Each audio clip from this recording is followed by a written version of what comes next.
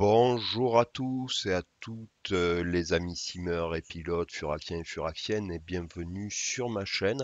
J'espère que vous allez bien, que vous et vos proches allez bien.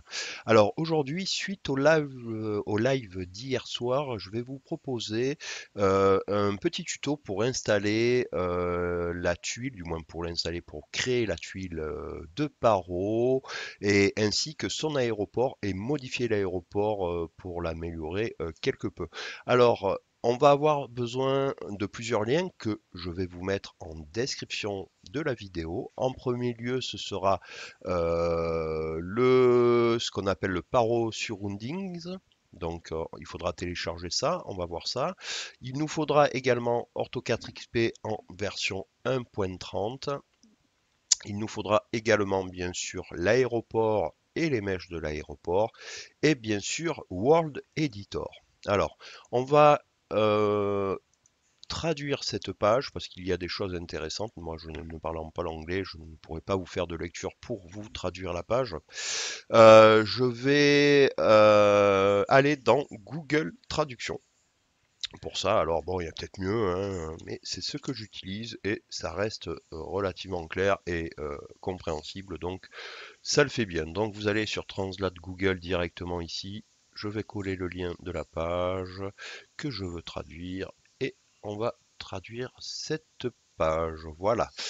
Alors, que nous dit l'auteur? Bienvenue en Asie, dans l'Himalaya oriental. Vous descendez la vallée de Paro, vous pouvez désormais profiter je vous laisse lire. Il faut savoir que l'éditeur a rajouté plus de 95 hélipads. Si vous êtes un gros fan de l'héliport, euh, ce sera euh, bien sûr idéal pour vous, hein, vous allez vous régaler parce que 95 héliports, ça fait une belle balade.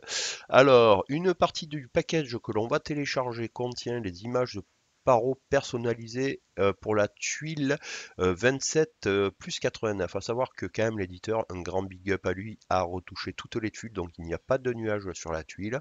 L'environnement de paro bouton, il y aura le bouton personnalisé aussi, donc ça c'est un autre dossier. Et si vous voulez le trafic à gauche également, vous pourrez mettre le trafic à gauche, mais ça va pas être le but de la vidéo. pourquoi il a mis ça? Parce que c'était une colonie anglaise avant et la conduite est à gauche.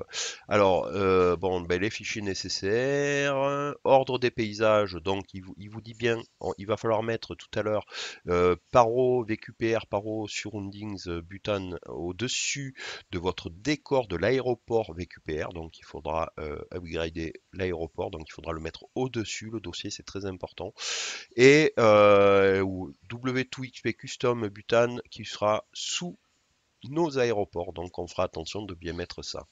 Euh, voilà, facultatif pour les propriétaires euh, d'Orbeix euh, True Earth, donc ça à voir pour ceux qui l'ont, moi je crois pas l'avoir, peut-être ou peut-être pas, ou alors il n'est pas activé. et pour les propriétaires du Payware, voilà, il y a, hum, quelques spécifications. Moi, je vais vous montrer tout avec du freeware et non du payware.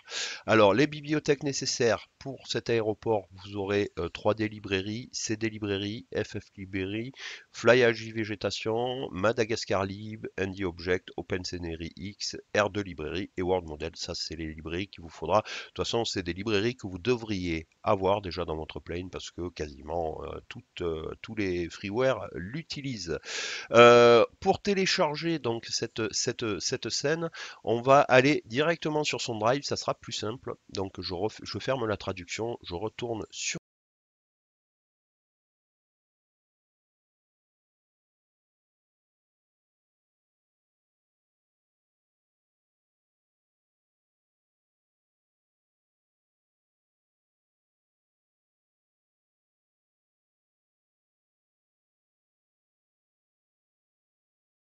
et on va aller sur son drive qui est ici, là, et vous avez donc trois dossiers à télécharger, AutoCAD XP Images, VQPR Paro Surrounding et euh, N27E. Alors, pour télécharger un sur le drive, vous faites un clic droit et vous faites télécharger.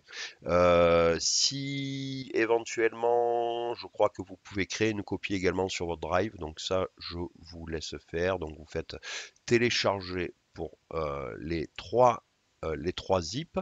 Ensuite, on va aller télécharger la, version Ortho 4XP 1.30 en version exe. Donc on clique ici. Donc sur cette page, le lien sera en descriptif de la vidéo une nouvelle fois. Hein.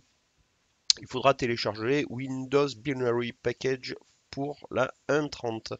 Donc c'est un lien de téléchargement direct. Hein. donc vous allez arriver sur le drive et là vous faites télécharger. Moi c'est déjà téléchargé, c'est pour ça que je ne les lance pas. Ensuite il vous faudra euh, VQPR, Paro Airport Butane en 2.7. Donc ici, vous avez deux liens de téléchargement. Il vous faut télécharger les mèches de Alpilot. Donc ça, c'est pareil, c'est des liens directs. Donc euh, pas besoin, moi c'est déjà fait, c'est téléchargé. Et euh, bien sûr, euh, l'aéroport en lui-même de Paro. Voilà, une fois que vous avez téléchargé ça, la dernière chose à faire, donc tous les liens seront en descriptif de la vidéo, encore une fois, euh, il vous faut télécharger euh, la version pour Windows, la dernière version stable, Download Web 2.2 euh, Release 2 pour Windows. Voilà, une fois que vous avez tout ça, euh, on va aller dans notre dossier euh, de téléchargement. Donc moi, c'est un dossier que j'ai appelé euh, tutotil paro. vous devriez avoir 1, 2, 3, 4, 5, 6, 7 et 8 dossiers au total. 9 si bien sûr vous avez téléchargé les routes à gauche. pour moi, je, je ne l'ai pas fait, donc je n'ai que 8 dossiers. Alors, dans un premier temps, on va commencer par euh, créer euh, notre tuile. Alors, pour ça, déjà, on va décompresser Ortho 4XP. Je vais faire un clic droit. Si vous n'avez pas WinRAR, je vous invite à l'installer également, c'est utile. Vous faites un clic droit et extraire ici. Voilà, donc on peut euh, supprimer l'archive, on n'en a plus besoin. Et on va euh, décompresser également le dossier Ortho4XP image CFG. Clic droit, extraire ici. Donc là, c'est un peu plus long parce que c'est le dossier qui contient euh, toutes euh, les images retouchées de la tuile. Donc voilà, ça peut être un tout petit peu plus long.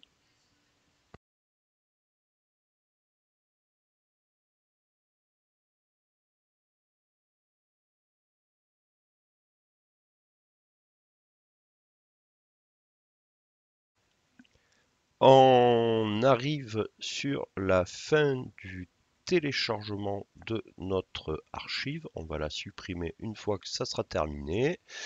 Voilà, donc vous avez orthophoto et tile. Vous avez deux dossiers qui ont été extraits. Hein. Si on regarde dans l'archive, c'est bien ce que l'on a, tile et orthophoto.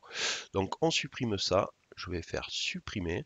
Euh, et maintenant, on va décompresser ce dernier dossier, le N27, et on va faire extraire ici. Voilà, ça c'est beaucoup plus rapide parce que c'est un seul fichier. Et je supprime l'archive. Voilà pour ce qui en est euh, pour la décompression des fichiers Ortho4XP. On décompressera le reste plus tard. Alors en premier lieu, je vais ouvrir Ortho4XP dans une nouvelle fenêtre. Voilà. Et je vais le mettre en côte à côte avec notre fenêtre actuelle. Alors, Ici, vous avez des dossiers. Donc, on va faire un glisser-déposer euh, euh, alors de ces deux dossiers directement. Euh, pas besoin de s'embêter. On fait un coupé. Voilà. Et on fait un coller à l'intérieur. Voilà. Maintenant que c'est fait, on va pouvoir lancer notre application. Alors, il n'y a pas d'exécutable là, il vous faut aller dans le dossier binary ici d'Ortho4XP et vous descendez et vous allez trouver un exécutable pour Windows. Si vous, bien sûr vous avez téléchargé la bonne version. Voilà, je fais un clic droit. Alors, je vais avant ça suspendre mon antivirus quelques petite heure, le temps du tuto pour éviter des alertes, voilà, des alertes inutiles. Ortho 4 XP donc est donc lancé. Vous avez cette fenêtre d'application face à vous et une fenêtre euh, derrière de, euh, de ligne de commande. Alors ça, on va pas l'utiliser, hein, on n'en aura pas l'utilité. On va euh, en, tout d'abord marquer le numéro de tuile que l'on veut générer. Donc pour celle de Paro, c'est la plus 27 plus 89. Ensuite, donc si vous avez bien déplacé euh, les dossiers, euh, si vous avez bien déplacé les dossiers euh, à la racine d'Ortho 4 XP, hein, orthophoto et tile, vous, allez cliquer ici sur cette, sur cette icône là et vous avez cette fenêtre d'application qui apparaît. Alors hop, j'ai un petit problème de double clic avec ma souris de temps en temps. Ici, vous faites Load Tile CFG. Donc, si vous n'avez pas d'erreur, c'est que vous avez bien transféré euh, les deux dossiers à la racine d'Ortho 4XP, tout va bien. Par contre, ici, on a un petit problème, c'est qu'il nous link en fait le dossier euh, N27E089HGT sur un mauvais emplacement, euh, parce que l'éditeur, lui, a des disques, un ordinateur différent de lui-même. Donc, le but va, être d'aller chercher ce fichier dans notre dossier de téléchargement. Donc, moi, c'est dans tuto tile donc je vais aller sélectionner ce fichier HGT. Donc tuto tile paro. Je fais ouvrir. Une fois que c'est fait, je fais apply et je fais exit. Ici, on voit que la source de l'imagerie a changé. On est passé sur arc et en 17. On est prêt, donc on est donc prêt à générer notre tuile. En premier, on va faire assemble vector data. Ça peut prendre un petit peu de temps. On lance ça de suite voyez le double clic que j'ai avec la souris, c'est pénible. J'espère que ça va pas faire bugger le tuto. Allez, c'est bon, ça télécharge les motorways, les trunks, les primaries. On va laisser l'application faire. Alors, vous pourriez tout aussi bien cliquer sur All-in-One, hein, ça lancerait euh, tout d'un coup. Bon, pas, euh, d'intérêt. Il vaut mieux euh, actuellement regarder ce qui se passe sur nos tuiles. Vous allez voir, je vais vous donner des informations sur ce qui est bon et pas bon. Alors là, ici, il y a une information au niveau des élévations d'attaque est intéressante. L'altitude minimum 445, euh, je crois que ce doit être des pieds, oui. Hum et max altitude 7297 pieds. Donc là, vous voyez, ça télécharge euh, tout. Si éventuellement vous pouvez avoir une, petite erreur d'OSM, il retente et vous le téléchargera. Donc vous inquiétez pas. Il n'y a que si vous vraiment vous avez que erreur serveur DE rejected, là c'est que vous avez un souci euh, de connexion ou bien votre antivirus qui vous bloque euh, certaines connexions. Donc euh, voilà, il faut, faut laisser faire. désactiver pour éviter d'avoir des alertes. Moi j'ai un antivirus effectivement un tout petit peu virulent, donc je le désactive pour ce genre d'opération parce que je sais que c'est des opérations legit, que je vais pas avoir de soucis et puis je réactiverai de toute façon ma protection une fois que j'aurai fini la création de cette tuile. Donc ok, ça peut prendre plusieurs minutes. Hein. La première étape est terminée, donc euh, euh, il est marqué complète, il a fallu 5 minutes 55, donc j'avais mis la vidéo en pause, vous imaginez bien, j'allais pas nous faire attendre 5 euh, minutes 55 et on n'a pas d'erreur particulière, il a bien transcrit le fichier, voilà, tout, tout est bien réalisé, donc l'opération est complète. Maintenant, on va passer à, euh, c'est là où c'est important, c'est là où on va voir le niveau de maillage. On va faire triangulate 3D mesh. C'est parti. Je laisse faire, je mets la vidéo en pause et je vous reprends tout à l'heure. On va attendre un tout petit peu et je mettrai la vidéo en On va voir euh, combien de, de triangles il va nous calculer pour la définition de notre tuile. Donc euh, il ne faut pas oublier qu'on a un fichier personnalisé pour les élévations. Donc on risque d'en avoir quelques millions. Allez, allez. Forcément, ça va être un peu long. je mets la vidéo en pause et euh, je reprendrai dès que ça s'affiche. Alors, ça y est, il nous dit combien de mèches triangles il a généré pas moins de 9 958 610 mèches triangles. Donc, on devrait avoir une bonne définition au niveau des élévations euh, sur la tuile. Une fois que ça va être terminé, on lancera les autres étapes et notre tuile déjà sera créée. Mais on va attendre que tout, de voir que tout se passe bien, bien sûr. Donc là, il écrit, euh, il écrit les nœuds. On le laisse faire et on va, euh, voilà, écriture finale du mesh euh, to the file. En fait, là, il est en train d'écrire le, mesh dans le dossier de votre orthophoto. Dans, donc, ça sera dans tile Z ortho 4xp plus 27 plus 0,89. Voilà, ça devrait pas être long, ça devrait se terminer assez rapidement. On va patienter, je pense que ça vaut pas le coup de mettre la vidéo en pause pour le coup.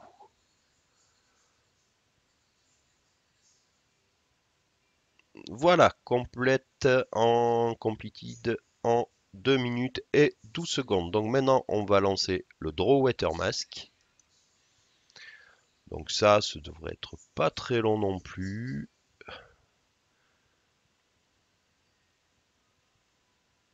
Donc là, il lit le mesh de tout à l'heure, hein, celui qui a été généré pour prendre les informations dont il a besoin en fait, euh, pour générer euh, les masques pour l'eau. Mais bon, euh, sur la tuile, il n'y a pas beaucoup d'eau, ça devrait aller relativement vite.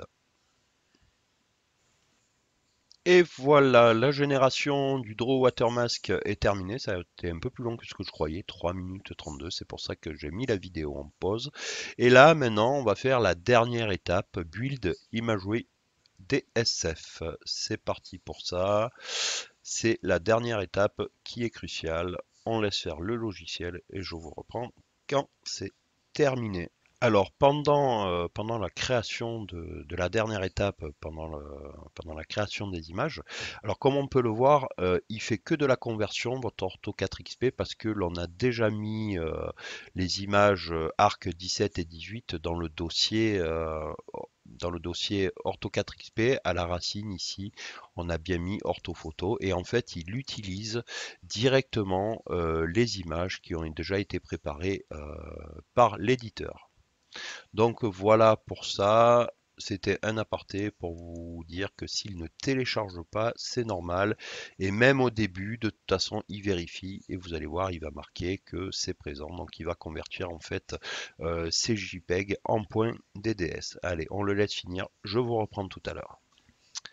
Voilà, voilà, voilà. La dernière étape s'est faite en 7 minutes 29 secondes. Ça nous a converti euh, tous nos fichiers JPEG en .dds. C'est terminé. Et euh, ça a activé le DSF Files. Voilà, donc tout est bon, tout est bon. On n'a plus qu'à fermer euh, l'application 4 XP.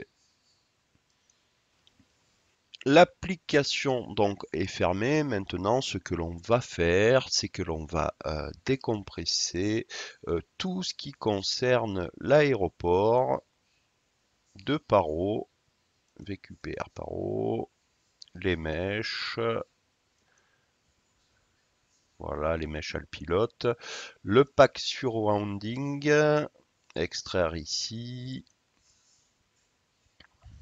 voilà c'est extrait. Euh, le W2XP, extraire ici. Voilà. WED, on le décompressera plus tard. Alors maintenant, on va installer notre tuile. Donc moi, ici, euh, dans mon accès rapide, euh, j'ai toujours des raccourcis. Ça permet d'aller un peu plus vite pour créer mes liens symboliques. Ça m'évite d'ouvrir deux fenêtres. On va aller déjà sur Ortho 4XP et on va aller chercher notre tuile. On va aller dans Tiles ici et c'est la tuile qui vient d'être créée. Alors, on va euh, soit vous faites un glisser-déposer dans votre custom scenery de la totalité du dossier, soit vous faites comme moi, parce que moi j'ai euh, mes tuiles qui sont sur un gros disque de Citera et mon Xplane qui est sur euh, mon, mon disque C de 1 Tera. Donc euh, souvent je crée des liens symboliques. Donc soit vous copiez la totalité dans Custom Scenery, vous vous embêtez pas, soit vous faites un glisser-déposer et vous appuyez sur la touche ALT, Alt de votre clavier pour créer un raccourci. Vous voyez là, ça vous marque quand j'appuie sur Alt, créer le lien dans Custom Scenery. Je lâche et je vais aller dans mon Custom Scenery et j'ai bien le raccourci. Pour ce qui est du reste, euh, alors je reviens sur mon tuto tuile perso. Donc voilà, ça c'est fait, notre tuile est linkée. Et ça, maintenant, je vais mettre tout ça, je vais euh, faire un coupé, coller et je vais tout mettre ça à la racine de mon custom scenery parce que c'est des mèches. Alors pareil, hein, on peut créer des liens externes, mais en fait je préfère externaliser que mes tuiles, tout ce qui est aéroport, je préfère et, librairie, je préfère moins l'avoir dans custom scenery. Je fais coller, voilà, ça me déplace tout. Et on va après lancer Xorganizer pour voir euh, l'agencement de, nos nouveaux fichiers. Voilà, on a tout dans notre custom scenery, on a le lien symbolique vers la tuile et on a euh, l'aéroport, les, mèches, euh, le custom butane et euh, le paro surrounding. Donc il nous avait dit dans la notice que le VQPR paro surrounding, il va falloir que ce soit au-dessus de l'aéroport et des mèches paro. Voilà. Donc on va lancer Xorganizer pour ça. Je peux fermer le dossier et je lance mon Unix Organizer qui va détecter qu'il y a des nouvelles choses dans le dossier. Voilà, il nous dit bien qu'il a trouvé euh, donc notre aéroport, les mèches, le surrounding, euh, notre tuile, voilà, et qu'il a trouvé également le fichier W2XP qu'il faut mettre sous les aéroports. On fait close, on va ouvrir. Sous 4 XP, l'avantage, vous allez faire Recently Scanned. Et là, en fait, ce qui est en surbrillance, c'est là où il y a eu des nouvelles choses depuis le nombre de jours sélectionnés. Mais ça, je vous renvoie au tuto que j'ai fait sur Xorganizer. Alors, Airport Asia, déjà, on va activer la tuile. Voilà, notre tuile a bien été trouvée. Euh, après Airport Asia, ici, qu'est-ce qu'on a? On a Butane. Donc, on va les activer. L'aéroport de Paro. Euh, l'aéroport, euh, du moins les mèches de Alpilote et également le surrounding. Alors, il nous dit de le mettre en haut. Là, il est en bas. Donc, on va le remonter. Voilà, donc notre surrounding est bien au-dessus de l'aéroport et des mèches. Ici, on a quelque chose également de nouveau. World 2 XP. Effectivement, c'est bien sous le Global Airport. Donc, on est bon sous le global plutôt, et sous tous les aéroports, donc on est bon. On peut activer, je lance mon plane, je vous dis à de suite, et on va regarder ce que ça donne. Nous voilà dans notre plane, les amis. On va regarder ce que donne le résultat. Déjà, l'aéroport est très joli. C'est un bel aéroport, on va voir ça, et on va vérifier que l'on est bien notre tuile je vous confirme qu'on a bien notre tuile d'installer. Vous allez voir, on va monter en altitude. Et notre tuile a bien été générée et les élévations, franchement, sont très très belles. Euh, sont magnifiques. Moi, quelque chose me dérange encore sur cette scène. Euh, voilà, vous voyez, c'est vraiment, c'est vraiment superbe. C'est cette eau bleue là qui euh, à mon avis, n'a rien à faire là et est très mal placé. Donc ce que nous allons voir, c'est comment ben, tout simplement retirer cette rivière avec le logiciel qui vous est fourni gratuitement par la Minar qui s'appelle WED. Donc je ferme le simulateur et je vous retrouve sur le bureau. Nous revoilà dans notre euh, dossier de téléchargement. On va modifier maintenant l'aéroport pour plus avoir euh, cette rivière bleue. Alors, on va euh, extraire WED, donc que l'on a au préalablement téléchargé, et on va le lancer. Alors, au premier lancement, moi, c'est pas la première fois que je lance ce logiciel, donc euh, il va peut-être vous demander de choisir votre dossier Xplane. Donc, c'est ce qu'il vous faut faire. Vous cliquez sur Choice Xplane Folder et euh, vous allez sur le disque où est localisé votre Xplane et vous lui donnez le chemin, comme beaucoup d'applications. Et on va aller euh, ouvrir euh, notre aéroport. Allez, on va descendre, on va le trouver, voilà, WED Airport, VQPR Paro 2.6. Alors, euh, c'est pas les mèches hein, qu'il vous faut ouvrir, c'est vraiment euh, l'aéroport. On va faire Open et World Editor s'est lancé. Alors le but, ça va être de supprimer cette rivière. Alors j'ai un peu miséré. Alors le but, ça va quand même pas être de vous expliquer comment fonctionne euh, WED, ça va être de, vous montrer euh, comment vous dépêtrez de cette rivière uniquement. Hein. Ne me posez pas de questions hormis ça, euh, parce que je ne maîtrise pas du tout ce logiciel. Vous aurez très certainement d'autres personnes qui le feront mieux que moi. Voilà, c'est vraiment pour la finalité de ce tuto, vous montrer comment avoir quelque chose de propre. Donc là, vous faites ici, une fois que vous l'avez ouvert, vous avez euh, cette fenêtre-là, vous faites Select et euh, Missing Item. Voilà, c'est ce qu'il fallait faire. J'ai cherché comment, c'était hyper galère.